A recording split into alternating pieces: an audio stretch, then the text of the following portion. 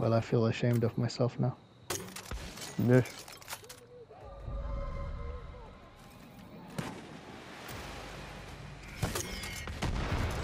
Holy shit!